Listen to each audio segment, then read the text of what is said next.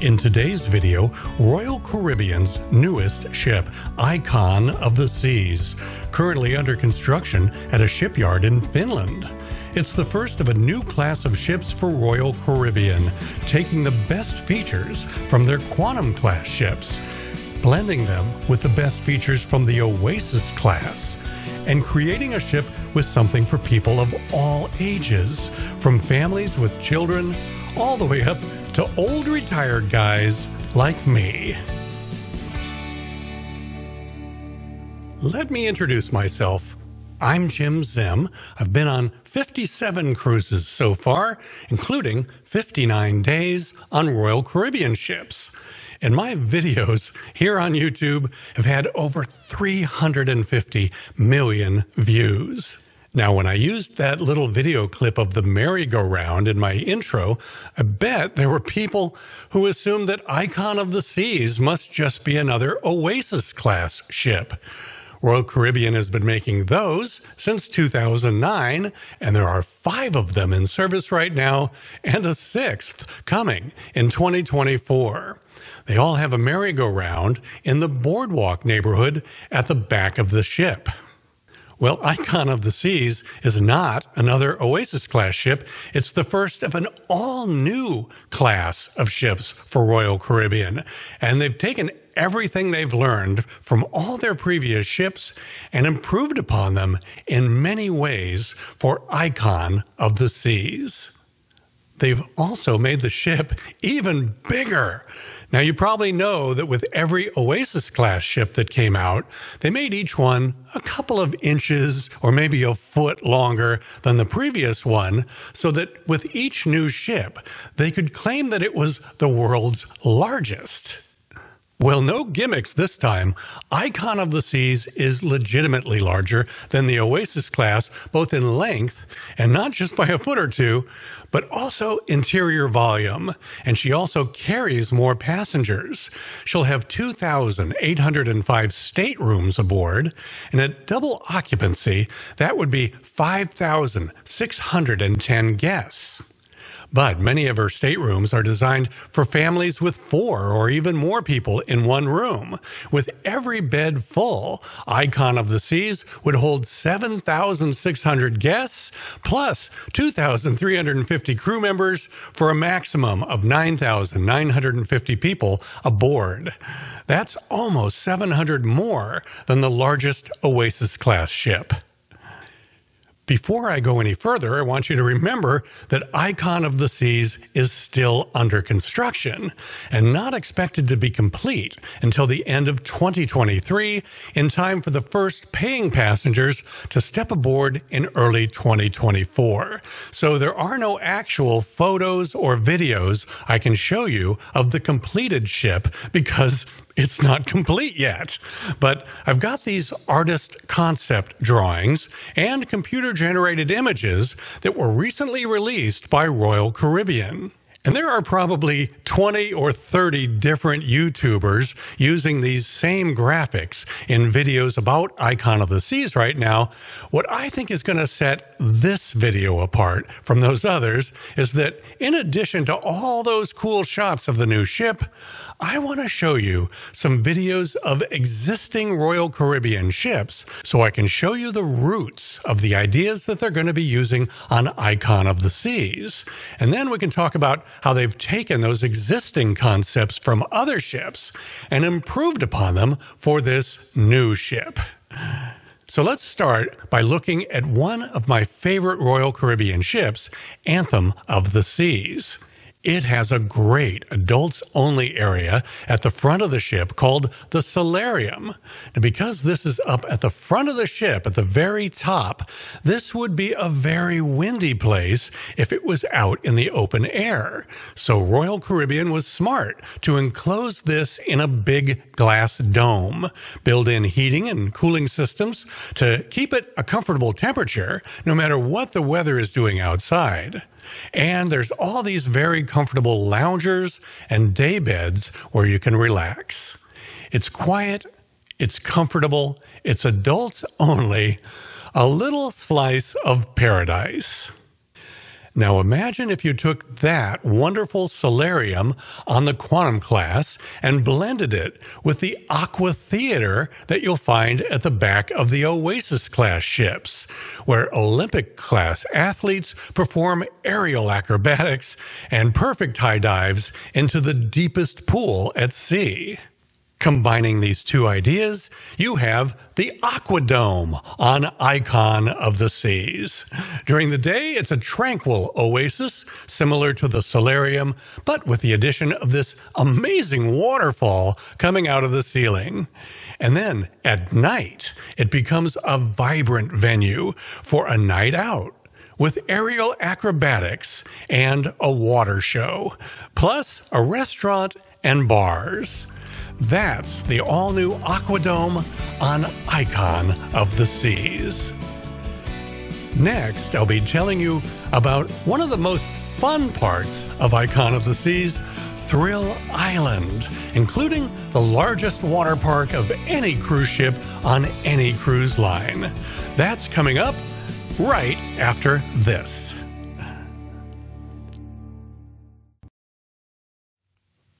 For quite a long time, Royal Caribbean ships never had water slides. They had rock climbing walls, they had flow riders, but incredibly, it wasn't until 2016 that they finally refurbished one of their ships and added a water slide, the tidal wave raft slide on Liberty of the Seas. Other cruise lines have had water slides. Carnival has had them for a long time. Norwegian has had them, and Disney, too. The entire success of my YouTube channel really started with a video about a water slide. I happened to cruise on Carnival Spirit right after they installed the Green Thunder water slide. I made a video about it, which proceeded to go viral on YouTube. And that video got a lot of views 96 million so far and convinced me to keep making videos for YouTube. Now, I've made hundreds of them, and 26 of my videos have gone on to get at least a million views each. But with their new ship, Icon of the Seas, Royal Caribbean has embraced water slides in a big way. Her water park is larger than on any other ship from any other cruise line. There are six different water slides on Icon of the Seas, including a vertical drop slide similar to Carnival's Green Thunder slide. This one's called Frightening Bolt, I'm assuming that's a play on words with the term lightning bolt. And this one is even taller than the Green Thunder, taller than the vertical drop slides on Norwegian and Disney. In fact, it's the tallest vertical drop slide at sea. That's just one of the six water slides in the Thrill Island neighborhood on Icon of the Seas. There's also the longest raft slide at sea, and this is a family ride for up to four riders per raft. This looks like a lot of fun. You'll also find dueling mat slides so you can race against friends or family members. And there's also going to be another free fall slide, but this will be the first open free fall slide instead of being fully enclosed, and it'll have a 65 degree incline. Another fun and somewhat scary feature in the Thrill Island neighborhood on Icon of the Seas is known as Crown's Edge. Part ropes course, part skywalk. The super scary part is that once you get out to the end of that platform, it drops out from under you and you're dangling there above the ocean water. There will also be a flow rider on Icon of the Seas, but they came up with a simple improvement. On all the other flow riders on Royal Caribbean ships, the flow rider faces back, so the person surfing has a view of the ocean. But when you shoot a photo or a video of someone on the flow rider, the ocean is behind and out of view of the camera.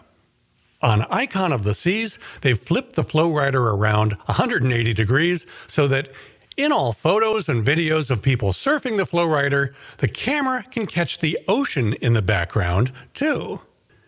Before I go any further, I want to just mention that even though Icon of the Seas won't be going into service until January of 2024, they did just recently start accepting bookings. So if you're interested in booking a cruise on Icon of the Seas or any cruise ship from any of the cruise lines, I want to offer you the services of my travel agent, Caitlin Gallagher. She recently went through extensive training all about Icon of the Seas, so she is fully knowledgeable of the various types of cabins that you'll have to decide between, and she knows the answers to all those questions you're probably going to have. So, the smart move is to work with Caitlin when you're ready to book a cruise. She'll help you avoid making any rookie mistakes, and she'll be the one stuck on hold with the cruise line, not you, if there are any complications. There are seven pools aboard Icon of the Seas, and four of them are in an area of the ship known as Chill Island. By the way, the largest cruise ship in the world will have the largest swimming pool on any ship on Earth. It's called the Royal Bay Pool. Another really brilliant idea that's new for this ship has its roots in Royal Caribbean's hugely popular private island, Coco Cay. At the Oasis Lagoon on Coco Cay, there's a swim up bar that's been a big hit with cruisers. So, Icon of the Seas is going to be the first Royal Caribbean ship to get a swim up bar. It'll be known as Swim and Tonic. And you can bet that's going to be a really popular place on a warm day in the Caribbean. If you like the vibe of a beach club with a DJ spinning tunes and a party atmosphere, you're going to want to hang out at the Hideaway. This neighborhood, 135 feet above the ocean, combines a beach club vibe and the uninterrupted ocean views only a cruise can offer. The first suspended infinity pool at sea is at the center of it all, and it's surrounded by a multi level sun terrace with whirlpools, a variety of comfortable seating, and a dedicated bar. Now, I'm a senior citizen, so I'm not looking for a party scene when I'm enjoying a day on a cruise ship. And Icon of the Seas has plenty of quiet pool areas to choose from. There's Cloud 17, the adults only pool deck, and also the Cove Pool, an infinity edge pool with a serene atmosphere. For the affluent cruisers who can afford to book a suite, Icon of the Seas has a neighborhood of its own just for suite guests. This is Royal's spin on the Haven on Norwegian Cruise Line and the Havana area on Carnival Cruise Line. On Icon of the Seas, the outdoor area for suite guests is known as the Grove. It's three decks of luxury, including a two floor sun deck featuring a private pool and whirlpool. Now, if you're going to be cruising as a family, bringing your kids along with you on the cruise, your family is going to absolutely love Icon of the Seas because with all the improvements that you'll notice on the ship compared to other ships in the Royal Caribbean fleet, they're really looking to make this one one of the best cruise ships in the world for families. And I'm not just talking about all the water slides we talked about already. There's also a neighborhood designed especially for families cruising with young children. If you've been on any of the Oasis class ships, I'm sure you remember the neighborhood known as the Boardwalk. That's where they have the merry-go-round and Johnny Rockets and the Aqua Theater. Well, on Icon of the Seas, that space is known as Surfside, and it's designed for families with young children. In addition to the carousel for kids, there will be a kids' water park, an arcade, dining option, a kids' club, a teens club, and a pool especially for families with young children. And that pool at the back of the ship will have great views of the ocean. By the way, so that mom and dad can enjoy some drinks while they hang out with the kids all day here at the pool, even though this area is specifically for kids, don't worry, it will feature a bar too. Speaking of bars and restaurants, Royal Caribbean hasn't announced yet what restaurants and bars will be coming to Icon of the Seas, but we do already know that the Lime and Coconut, a bar I really liked on some of the other Royal Caribbean ships I've sailed on, will be included on Icon of the Seas. In fact, the Lime and Coconut will have four locations around the ship. We have covered a lot of territory so far, but there's still more to tell you about Icon of the Seas, so stick around. I'll be right back. If you've sailed on any of the Oasis class ships, no doubt you were impressed with Central Park, one of the most serene and wonderful smelling places I've ever seen on a cruise ship. Even though Icon of the Seas is not an Oasis class ship, they did carry over the Central Park concept. But of course, they improved upon it, making it even more lush than on the Oasis class and with 20% more trees. Another concept you'll be very familiar with from other Royal Caribbean ships is the Royal Promenade. And once again, they found a way to improve upon it. On previous ships, there were basically no windows in the Royal Promenade, but on Icon of the Seas, the Royal Promenade will have lots of outside light coming in from floor to ceiling windows, which will also offer one heck of a nice ocean view. Icon of the Seas will offer many cabins designed specifically for families, like this one, known as the Family Infinite Balcony. Look at this cool room outfitted with bunk beds for the kids. And the bathroom in this type of cabin is split so that if someone needs to use the toilet while someone else is taking a shower, it's no problem. For the ultra affluent traveling with kids, there's the ultimate family townhouse. It's super expensive, but your family will never forget this three story family space, which includes a slide to get you from the upstairs down to the living room. It's all set up for gaming for the kids.